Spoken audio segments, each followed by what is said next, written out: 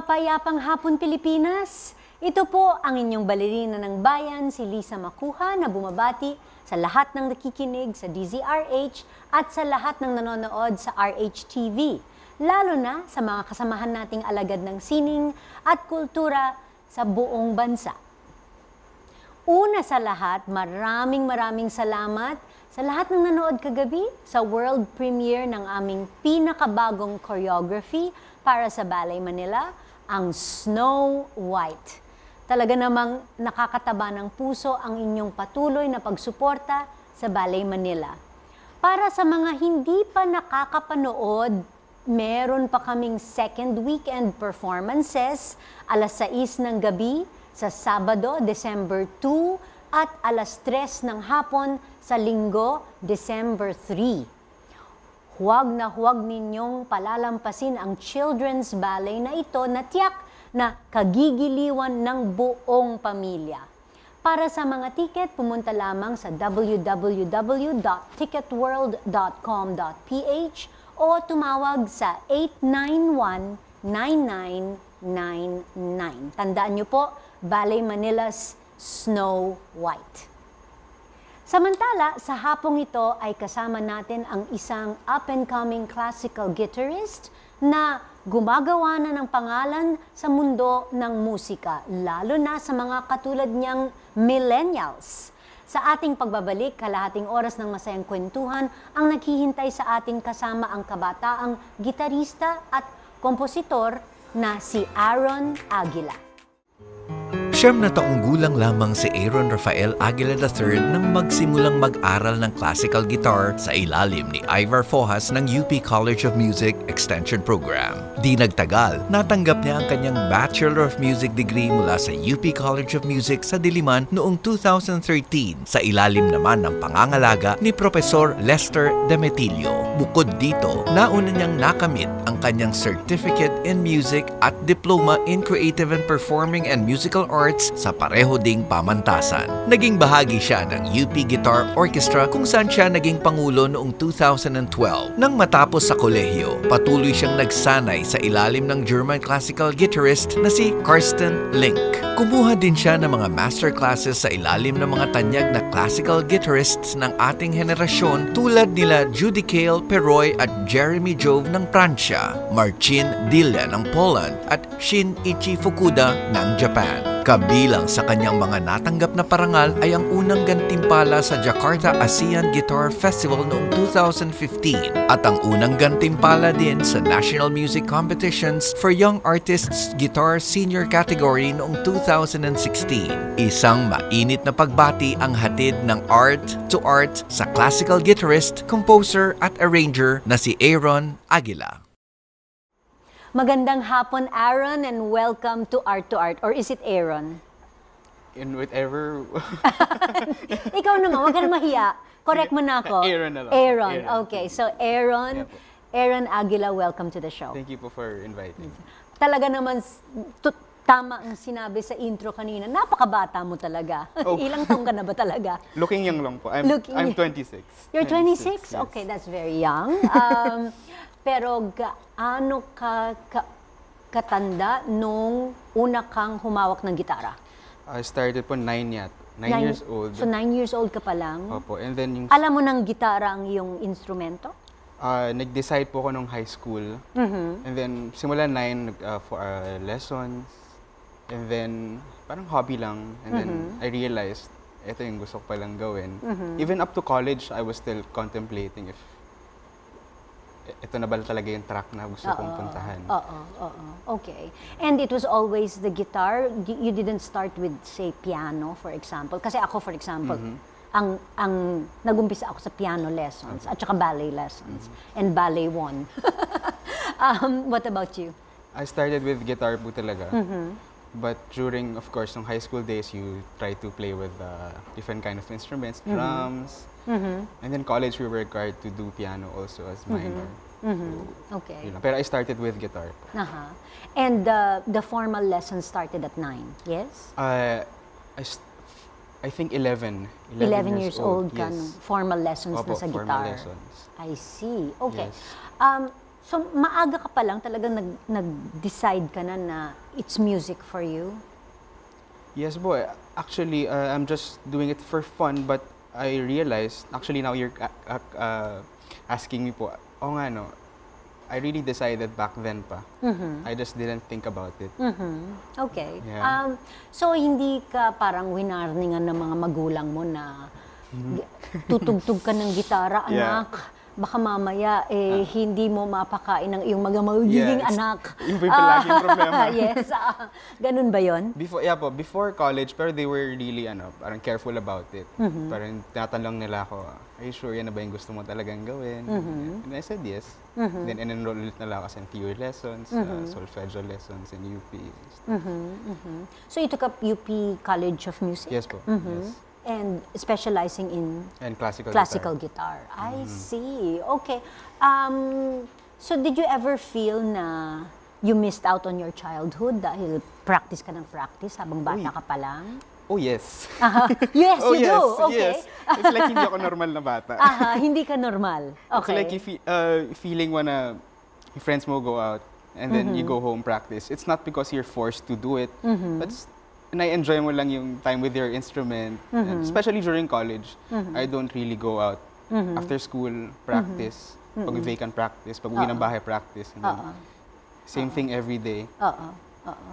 Pero hindi ba um, araw-araw talaga dapat ah, magka-clock ka ng hours of practice para ma para maging mahusay? Halimbawa, um, for ballet dancers, kailangan at least um, one to two hours of class every day para lang mag-maintain. Yes, para gumaling, maintain, kailangan maintain. mas madami pang oras, Yes. no? Na kailangan gugulin sa rehearsal at saka sa performance. I totally agree with hard work. Mhm. But at the same time, uh, you should be careful about I don't know you uh, the, about the quality of your rehearsal. Mhm. Kasi paminsan may days na I forced uh, na to practice the whole day. Mhm. But at the end of parang pagkatapos ng, ng day, pagod lang ako. I didn't learn anything. Mhm. So I just exhausted myself and stuff. So I learned nung pa- patapos na ako mag-college, no, dapat mas efficient yung practice mo kahit let's say for the day I do for for me mahab like three hours pero intense like focused no phones everything Mhm. and then I gained something Mhm. so probably po small uh, small goals Mhm. Especially kung maraming distractions I think ma- for me nag-work yung ganun smaller goals but Mhm. frequent Okay. but before I used to practice kahit madaling araw pero now I think nahahanap ko yung uh, paano mag-work sa akin na practice routine Mhm. Mhm. And what is it about the guitar that made you choose that as your instrument? um, classical, yung sp- especially the classical guitar, hindi siya hindi siya loud instrument eh. Unlike, for example, a piano or violin, it's rewarding the moment you start playing it. Mhm. So it's really, for me, I can describe it po na someone is trying to explain you something, pero na-explain niya ng mahinahon and uh, parang wini-whisper niya sa'yo and clearly. Parang ganun yung dating ng guitar sa akin na, nag, na in love na ako. Kasi I, I played steel guitars and I tried electric guitars also, pero iba yung dating sa akin ng classical guitar. I Parang see. Aha. dito siya tagos eh. Oo, okay. Yeah. Okay. It's- And uh, ang guitarist ba ay nagpe-prepare din the same way for say a performance or competition or meron bang ibang klaseng preparasyon? Uh, I think it's the same, ano po, same preparation as the other instrumentalist or artist. You have to have to, uh, of course, malaking factor sa preparation, uh, like years or months before, and then uh, the mental conditioning also and stuff like. Actually, I I pag may competition, I try to ano to talk with other uh, artists also. Kasi iba rin yung may iba silang perspective that you don't see as a guitarist only. So parang I pick I pick up from different artists also. And then try to apply it if if it works for me. Okay. Um, so, um, sino-sino naman ang itinuturing mong mga mentors or teachers na talagang um, you owe them, you know, your career basically and the skills that you have today? Uh, so uh, I started po kasi I was uh, my dad plays guitar also. Mhm. Uh, so your first teacher was your dad? Yes, he taught me chords. Aha. Yeah, he was a Okay. he's a folk singer before, but he's a dentist now. Mm, okay. he made the right decision. Uh-huh, okay. Just kidding. Um, so, yeah po, una chords, and so my dad, and then enroll ako sa UP. I had my teachers there, but pinaka nagka-impact sa akin is uh, Barney Fojas. He's now in Arizona uh, doing his uh, PhD in guitar. Mhm. I think she, ano eh, sub, inspirational siya na teacher. So, I think kung hindi siya yung naging teacher ko, baka hindi ako nagtuloy ng college ng guitar. Mhm. And- Okay. And, then, when I got to college, nag, nag-graduate ako kay Lester Demetilio. Mhm. So, I learned a lot from him also. Mhm. He's, uh, yung way of teaching niya is really, sin, tawag nila, pupukpukin ka talaga na. Mm, mhm, mhm. And then, after college, uh, there's this German classical guitarist that, that was based here before, Mhm. si Karsten Link. Mhm. And uh, I think with the way I play now and my mindset, I got it from him. Mhm. It's he really opened my my mind Mhm. about uh, ideas and stuff. Okay. And, opo. And aside from that, from uh, the competitions and festivals that I, I that I Mm-hmm. joined, also. I had some master classes and then dun nag-widen yung pananaw ko sa Okay. guitar. Uh-huh. Okay. Well, with your experience sa competitions, sa festivals, and uh, you know, playing uh, sa iyong mga concerts, um, masasabi mo bang there's a big interest in classical guitar um, among, especially among your fellow millennials? Uh, sa ngayon po, compared to, of course, to the pop culture, of course, Mm-hmm. it's what is classical guitar. But I think the state now of Mm-hmm. classical guitar is uh, getting better Mm-hmm. than before. Because classical guitar dati, it sounds, ano lang siyang, nakatugtog lang yan, uh, yung nag-aral sa conservatory or college of music. And now, probably the, with the help of uh, social media, Mm-hmm. internet, YouTube, everything, mas madali na spread yung classical guitar eh. Mhm. Opo. So, uh, I think yes, um, sa sa aming sa generation namin mas Oo. aware kami about classical guitar Okay. and lalo na yung younger yung the younger generations pa Mhm. kasi nakita na nila na mas marami na agad silang options kami na, na naranasan pa namin yung sa, about sa pieces Mhm. dati you can't you can't find the pieces online eh Mhm. parang parang dati ano pa ah, aralin ko muna yung piece bago before you copy it mga Mhm, ganong mhm, bagay so mhm. ngayon yeah with the help of actually the technology Mhm. Mhm. nakatulong sa classical guitar Okay. Okay, classical guitar, guitar tayo ng classical guitar. Mm. Ilan bang ilan ba ang gitara? Um, are, uh, what kinds of guitar? Um, you have the classical guitar. You Yes. have uh, acoustic. You Yes. you you mentioned the electric guitar. yes Uh, then Ah. you mentioned uh, the steel guitar uh, trying the steel guitar. yeah opo tawag nila doon acoustic guitar ganun Acoustic guitar, Yeah. yun ang tawag doon. yeah, okay. they call it Um, ano pa? Meron, meron pa din 10 string guitar 12 Tension string guitar. ah ah, sorry 12 string guitar and may 12 12, string guitar. and may 10 And 10 string Yes. guitar. Okay. Opo. Hindi ko alam. Ang dami palang ganun. iba't ibang klaseng Yes. gitara. Okay. yes they are different kinds. And, okay, ma, ditong mga nakaraang buwan, naging abala ka sa iba't ibang shows na ginanap ah, sa mga di pangkaraniwang venues, correct? Ah, kasama dito yung pagtugtog sa isang museum at ah, pagtugtog sa isang bar barberia. um, okay, um, is there a strategy behind this? strategy. um, sa isang museum po, we had, I think we, doon naman, we tied up with that museum and then we do concerts there for the year. And then yung sa Barberia, it was a gimmick actually. It was our friend who who owns it. And then, uh, actually recently opened lang. Sabi niya, wait, and he's a fan of classical guitar. He's really a fan of it. And then, sabi niya, wala pang gumagawa ng Facebook Live na sa Barberia, no? Gawin nga natin. Aha. And then it Okay. started as a joke kasi seryoso ka, barberia. yeah, and, and I think pasok yung class, yung guitar. Kasi the theme niya, ano, um, ilo- parang mga Filipino themed yung uh, barbershop niya. So ang theme niya parang puro wood and stuff. So parang bagay yung guitar music there. So ayun, we tried it. Mhm. And hopefully, Kumusta naman? Uh, we got good ano uh-huh. uh, feedbacks naman. Pero we of course we need to improve it Aha. in terms of the production and everything. But we mm-hmm. we we just tried it. And mm-hmm. then we're planning again another one. Mm-hmm. And do you play solo or as part of a group? uh, now I play solo po but during college I was part of the UP Guitar Orchestra. Mm, and then competition solo. Aha. yes po. And uh, you, you mentioned the use of technology mm. and uh, so uh, abala ka sa paggawa ng performance videos that you post on social media?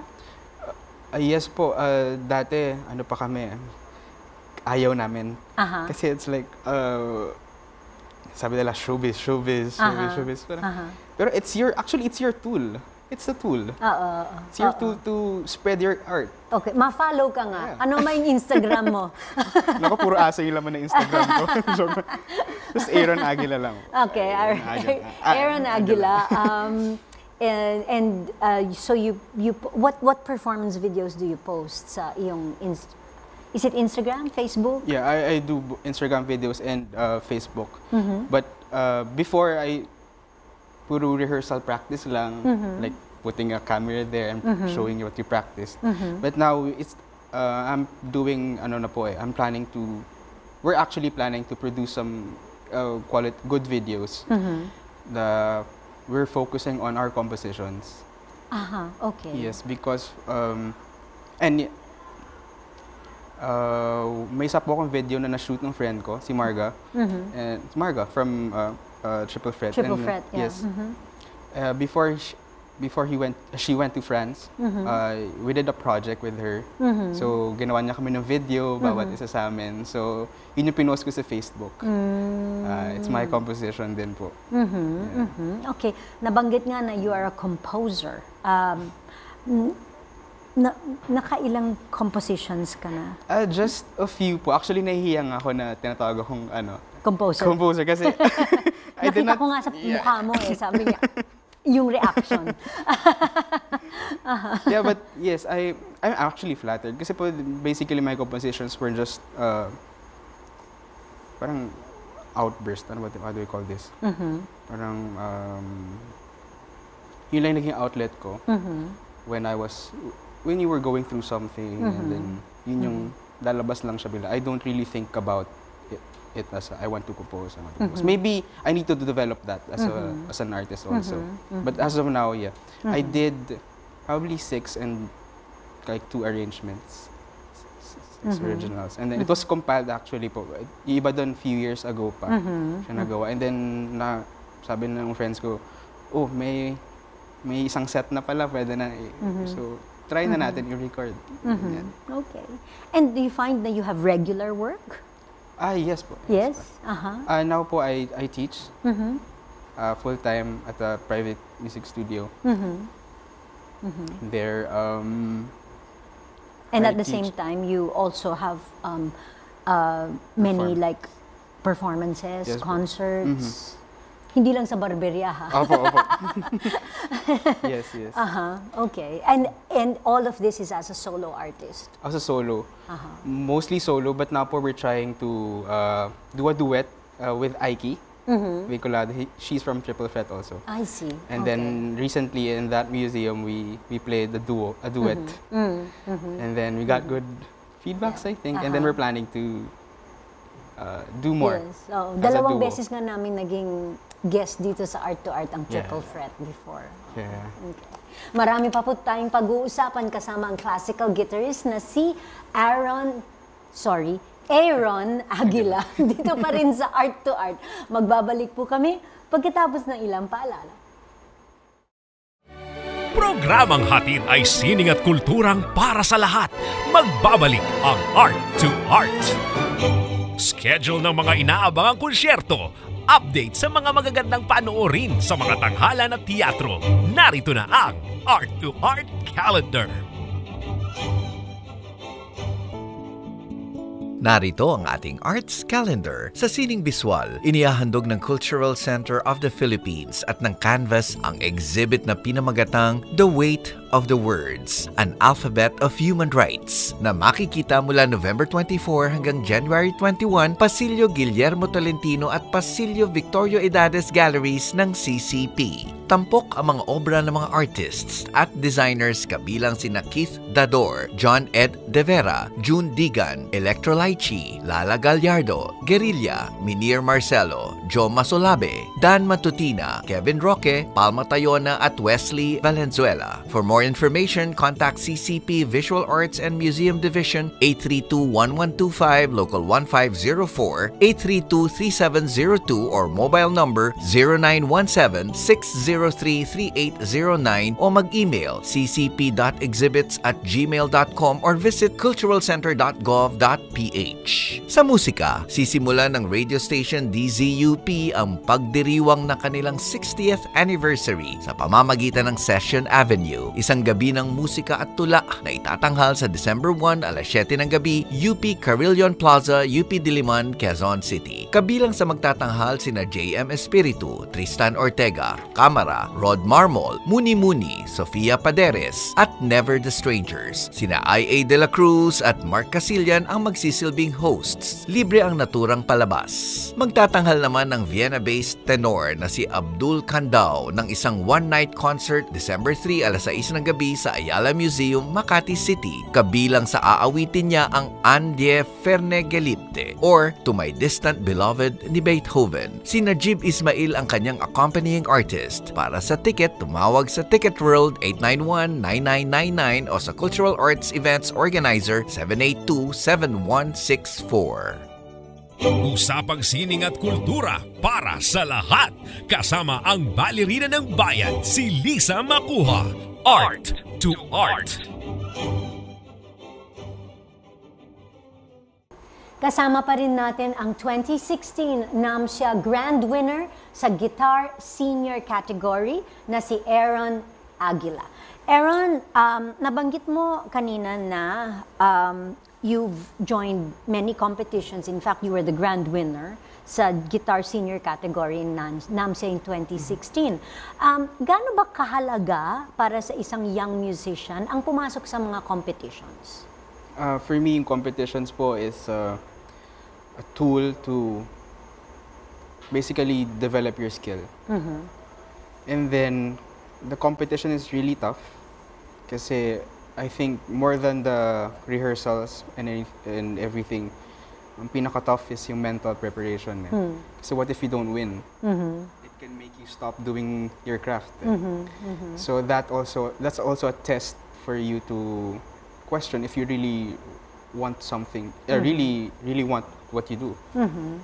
And uh, yeah, I I think it's a but I think before you join a competition, you should uh, uh, get an advisor or at least prepare yourself. What are the outcomes of it? Yeah, that's true. Maraming mga ballet competitions and I always say it's not really what you what the results of the ballet competition that Yes. matter most, Yes, but the way you prepare for the competition, what you learn while you're preparing for the competition, and what you do after the competition.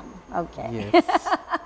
Anyway, in your case, uh, nung sumali ka sa NAMSIA, for example, did you fund yourself or, uh, I mean, did you get sponsorship or, or any kind of assistance from, um, from your school or from your government? Uh, when I joined the competition po, it was for Nam for for NAMSIA. It's uh, I paid for the application fees Mm-hmm. But what about for the competitions abroad? abroad? Of, there are some, but most of them I I asked for uh, sco- uh, assistance. Mm-hmm. There are individuals that are really generous and uh, really kind. Mm-hmm. That they really support classical guitar. So mga private donors? Oo, private I donors. see. Aha, okay. Eh, um, meron ka bang mga sariling recordings now? Yes, I currently I'm doing po uh, Mm-hmm. a an album. Oh, Yes. okay. I so was- abangan natin 'yan. Apo. Aha. So, I'm any recording. any uh, uh, ap- approximate date of release of the album? Uh, December 2. Yun na Okay. po. Eh, that's a That's December, December 2. That's a December 2. Ah, and may Yeah. show ka sa December 2, Opo, right? And that's the show. And that, okay, that's the show. and okay. that's the show. So December 2 where when? Uh, it's What in- time? Uh, it's 7 p.m. December 2, Saturday. Uh-huh. Saturday in uh, One Rockwell, Aha. West Tower. There's a function room there, Uh-huh. so I'm gonna hold it. So it's really uh, like an intimate venue lang. Mm-hmm, I want it to be that, ano lang, uh, that kind of mood. Okay. And what's the title of the album? Uh, Crossroads. Crossroads. Okay. And of course, um, Aaron, ah, hawak-hawak mo na nga yung gitara mo um, because ready ka nang ah, paunlakan kami ng dalawang ah, Yes po. pyesa. Ah, can you tell us first what are the names and titles, the composers of the pieces that you're going to play for us to- today? Mm. So, so I'll be playing uh, a medley po, but um, those are my compositions, so pagtsakaan nyo na. Ah, so ito ay Yeah. medley ng iyong mga compositions, Yes, opo. personal compo- Yes. compositions. Wow. Okay. So the first Excited one na ako. is uh, Bagong Umaga, Aha. And then sundan siya ng Kamusta Mahal. Kamusta mahal? Yes. Okay. Sige. Ladies and gentlemen, mga kaibigan, performing live on Art to Art, ang premiadong classical guitarist na si Aaron Aguila.